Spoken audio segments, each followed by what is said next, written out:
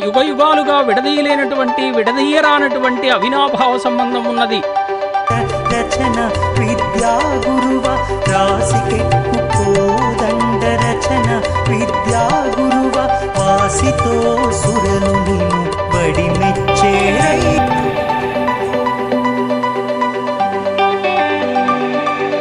శ్రీరామ జయరామ జయ జయరామ దర్శనమిస్తూ మనందరి యొక్క కూడా పోగొట్టేటటువంటి దైవంగా కూడా మనం కొలుస్తూ ఉంటాం. సాక్షాత్తు కూడా ఉన్నదట. ఆ విమాన మధ్యలో శ్రీవత్స కౌస్తుభాలంకారుడు వనమాల భూషితుడు దయాసముద్రుడు రూపిణ భుంగతే బ్రహ్మమానందమావిర్భూత గుణాశ్చతే.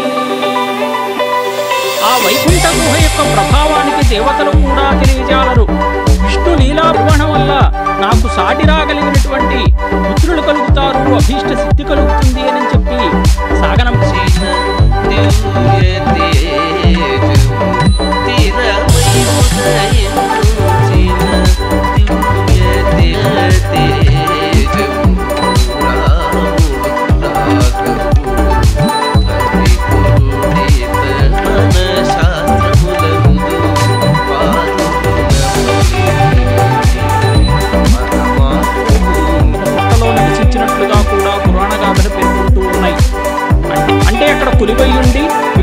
విగ్రహమూర్తుల కిరీటాలు లేకుండా కూడా జటాధారులుగానే దర్శనమిస్తూ ఉంటారు.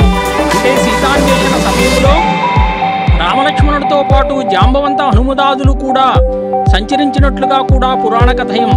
ఆ సమయంలో జాంబవంతుడు కొన్ని చోట్ల సాక్షాత్తు మహావిష్ణు వెలుగొందుతూ ఉన్నదన్నమాట.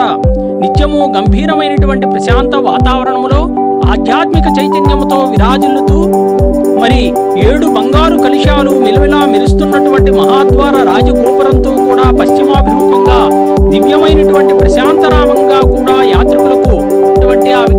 తనివి తీరా కూడా చూడవచ్చు. అదిగో స్వామివారికి